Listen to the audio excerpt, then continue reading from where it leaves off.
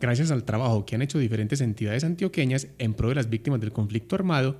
este organismo ha sido merecedor de un reconocimiento a nivel nacional,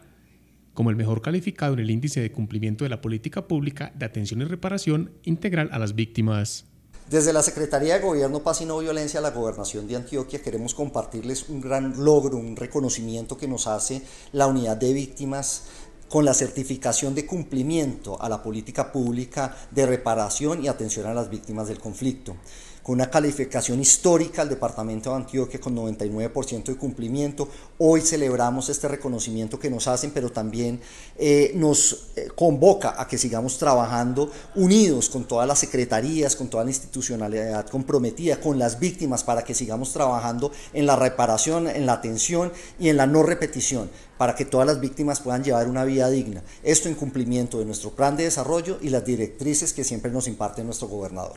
Según cifras de la unidad de víctimas, el 17% de ellas corresponde a ciudadanos de Antioquia, es decir, más de 1.850.000 personas,